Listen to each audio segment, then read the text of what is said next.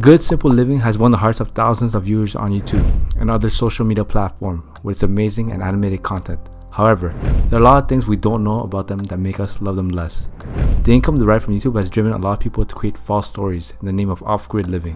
One of those supposed off-grid channels is Good Simple Living.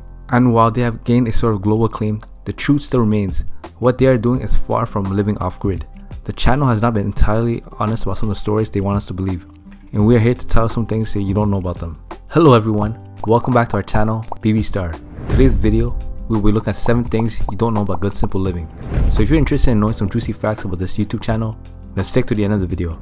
But before starting, we want you to subscribe to the channel as a token of appreciation and press the bell icon to stay updated about our latest content. Also, don't forget to check out the link in the description below to get a free audiobook online in seconds you will get my number one recommendation on how to get a free audiobook. Not just any kind, but only the best, top notch audiobooks. Now, without further ado, let's get started. Number 5. Their location.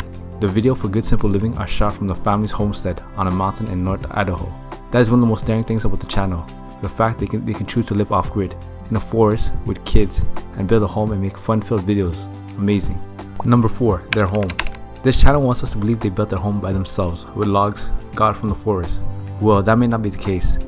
Findings have shown the experts were employed to build the house for them, although the house was built entirely debt-free, which is a commendable thing in modern-day America. Number 3. Creation of the channel.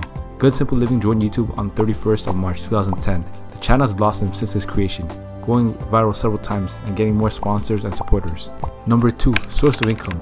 Apart from YouTube revenue and Google AdSense, this channel also generates income from its videos on Facebook and other social media platforms. Jeremy and Melissa both own a farm, but they have not been too forthcoming with information about the economic prospects of the farm. They also get money from sponsors and commercials. Number 1. Their net worth. This very popular channel has a net worth of over $2 million, with an annual take home of $120,000. They have been in the YouTube scene for a while now, so it is kinda expected. Good Simple Living is one of the most popular off-grid channels on YouTube. They have been able to carve a niche for themselves and a place in the heart of the fans as a reward for the amount of hard work they put into the channel. This brings us to the end of the video. Let us know what you think about Good Simple Living in the comment section. Like the video, share with friends. BB Star will be back with another video soon.